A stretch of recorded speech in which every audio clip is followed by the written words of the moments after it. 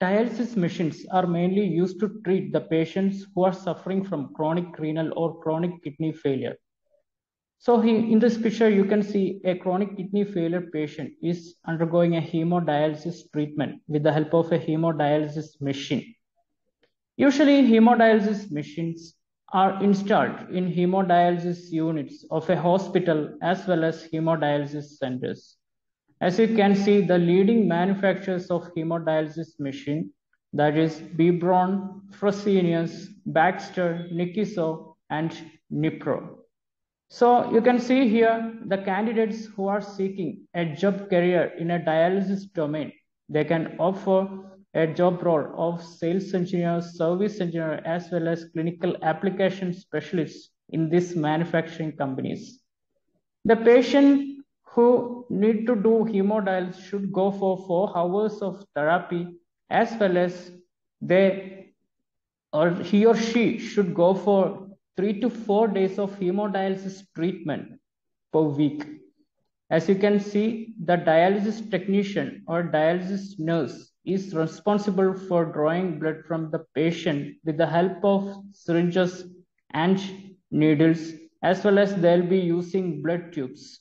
So you can see there is a peristaltic pump situated here, which is known as a blood pump. So the blood pump helps in drawing the blood from the patient and it pumps the blood to the dialyzer or artificial kidney for filtration of the blood. So this peristaltic pump or the blood pump will be integrated with a syringe pump, which is known as a heparin pump. So heparin pump is responsible for inducing a heparin bolus to the patient bloodstream in order to avoid blood clotting or coagulation. Right now, our patient is undergoing a heparin-free dialysis. In this picture, you can see the circuit is not connected to a heparin pump. So the patient is undergoing a heparin-free dialysis. So heparin-free dialysis is mainly done for the patients who underwent recent surgeries or the patients who is having low platelet count in their blood, as well as those who are having active bleeding. So after blood pump, the blood moves to a dialyzer. So a dialyzer is also known as an artificial kidney. Usually a dialyzer consists of two compartments, inner and outer compartments. So this inner and outer compartments of a dialyzer is separated by a hollow fiber. So this hollow fiber is nothing but a semi-permeable membrane, which is permeable to the substances, which is having low molecular weight. So here you can see the movement or the flow of the blood to the inner compartment of the dialyzer from the patient. And after filtration, the blood comes out from the inner compartment. At the same time, our dialysis machine produces a fluid which is known as dialysate. So dialysate is a fluid which is produced by dialysis machine and it, it is the composition of acid, bicarb and RO water. So it is mixed in ideal proportions, having ideal temperature and conductivity with the, with the help of hydraulic components inside the machine. As you can see, the dialysis technician or a dialysis nurse can set all the parameters or they can adjust the parameters such as temperature and conductivity of a dialysate as well as they can set the dialysis time as well as fluid removal volume in the dialysis machine screen under the guidance of a nephrologist or a doctor. So you can see the movement of the dialysate after filtration, it will be drained out from the dialyzer. So you can see the flow of the blood as well as you can see the flow of the dialysate. So both are flowing in the dialyzer in opposite direction, which results in a counterflow. So this counterflow causes a process which is known as diffusion. So diffusion is nothing but the toxic substances such as urea, creatinine, and ions, etc. from the blood will be diffused to the dialysate with the help of a semi-permeable membrane.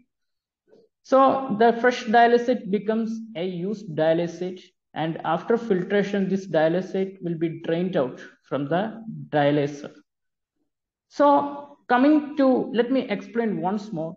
that is what's the difference between a dialyzer and dialysate so dialyzer is nothing but it's an artificial kidney which consists of hollow fibers which is mainly used to purify the blood and dialysate it is nothing but it is the fluid which is produced by the machine with the help of acid bicarb and RO water which helps in the process of clearance of the toxic substances from the patient blood to the dialysate.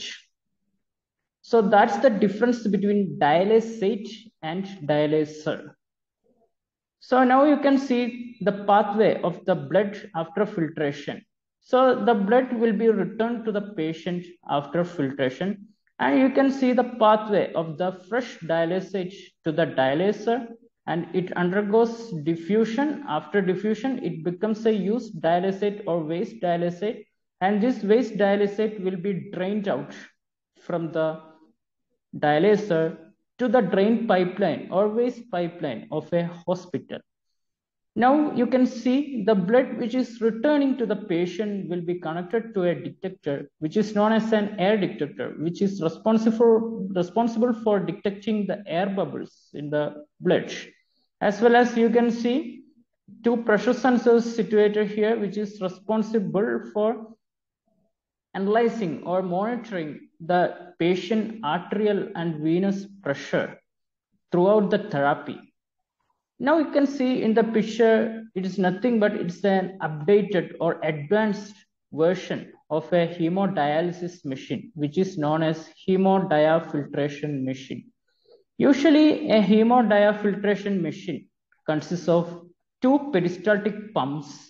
So as you can see the picture, it is having two peristaltic pumps. Suppose you are visiting a dialysis unit and you are seeing a dialysis machine having two blood pumps or two peristaltic pumps, then you can suspect or you can confirm that it may be a hemodiafiltration machine.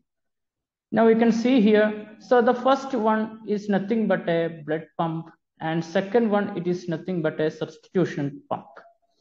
So the advantage of a hemodiafiltration machine is that it clearance, the clearance efficiency will be high comparing to a typical or a normal hemodialysis machine. And it improves the lifestyle of the patient or life quality of the patient. So the hemodiafiltration machine do 80 to 85 percentage workload of a kidney as well as it reduces the frequency of dialysis. Thanks to our newly developed high flux dialyzer, which helps in clearance of high molecular weight substances from the blood or which clears the high toxic materials which is having high molecular weight from the blood. As you can see, this is our high flux dialyzer here. And right now, actually the main demerit of the machine or the main factor that is pulling back the popularity of this machine or this treatment is that the high cost of consumables and therapy. It is not economically feasible for all types of patient to afford the cost of the consumables and therapy. So it can it can be this therapy can be used for all types of chronic renal failure patients. Now in this picture you can see there is a machine. It's a very advanced or very special machine which is known as CRRT machine or continuous renal replacement therapy machine. So this machine is mainly used in hemodialysis units, ICUs, emergency department, as well as the main specialties, it can be also used in organ transplant procedures.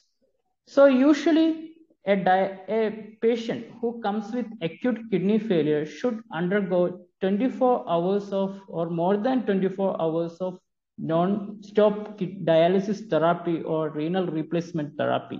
So this non-stop dialysis or renal replacement therapy is known as CRRT or continuous renal replacement therapy.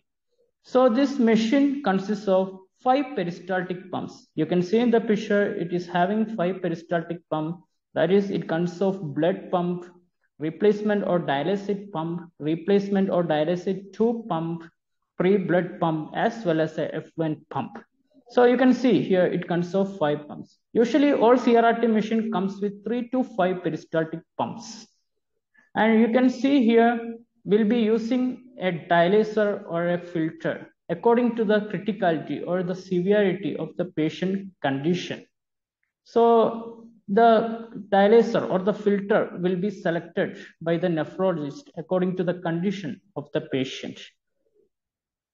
So for more, in, so if you are interested in studying more about a dialysis machine, kindly join our online training. So it's a, it will be a six hour session and it covers more of, moreover of clinical hardware as well service aspects of the machine. So it will be a great visual experience as well as it will be a great learning asset for a biomedical engineer. Thank you.